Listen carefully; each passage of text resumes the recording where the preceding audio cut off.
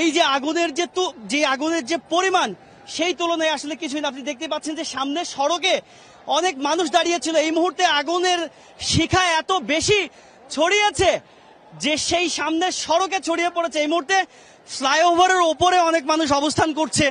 যেটি কিনা mayor Hanif flyover Gulistan থেকে যাত্রাবাড়ি পর্যন্ত যে ফ্লাইওভারটি গিয়েছে, সেই ফ্লাইওভারের উপরে হাজার হাজার মানুষ অপেক্ষমান রয়েছে। ফায়ার সার্ভিসের কর্মীরা সেই ফ্লাইওভারের উপর থেকে পানি ছিটানোর চেষ্টা করছে। কিন্তু আগুনের এত বেশি উত্তাপ, সেই আগুনের সঙ্গে পেরে ওঠা এই মুহূর্তে কতখানি সম্ভব সেটি বেশ খানিকটা শঙ্কায় পড়ে গিয়েছে।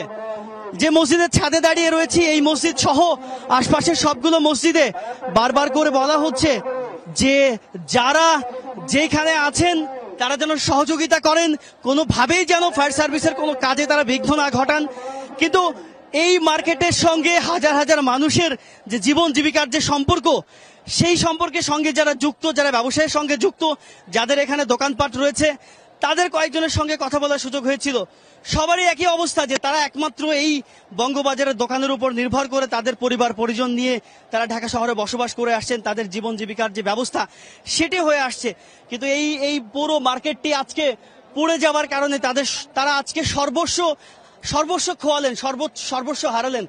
আপনি খুব স্পষ্ট দেখতে পাচ্ছেন যে আগুন ছড়াতে ছড়াতে সেটি সামনের রাস্তা ভেদ করে পাশের যে ভবনটি রয়েছে সেই ভবন অবধি পৌঁছে গিয়েছে। একই সঙ্গে এই এই এই মার্কেটের ঠিক উত্তর পাশে আরেকটি আরেকটি বিল্ডিং রয়েছে। সেই বিল্ডিং এ পর্যন্ত আগুন ছড়িয়েছে। আর ঠিক পূর্ব পাশে রয়েছে পুলিশের হেডকোয়ার্টার।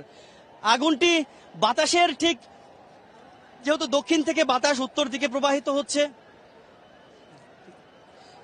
সেই কারণে কিন্তু দক্ষিণ দিকে আগুন খুব বেশি না ছড়ালেও যেটি যেটি কিনা উত্তর দিকের ভবনগুলো